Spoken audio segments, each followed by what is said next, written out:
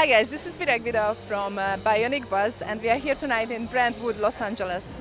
This is George Lopez Foundation's pre-party because tomorrow he is going to raise a lot of money in an amazing golf event where celebrities will attend. You just uh, took some pictures with George on the Yes. red carpet.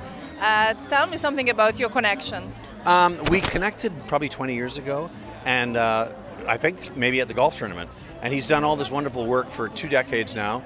And uh, I'm a, I was a fan first.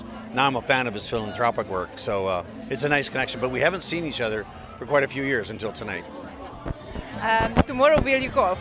Sorry? Tomorrow will you play golf? I will not play golf. No, I don't golf. It's not your cup of tea. No, I, but I think I performed at the golf tournament for George 20 years ago. That's where I met him. So I'm better at performing than playing golf for sure. Okay. You mentioned you better performing. What? What will you? What is the next performance? Oh, I'm working on a musical uh, in New York, and um, hoping to be on Broadway in about a year.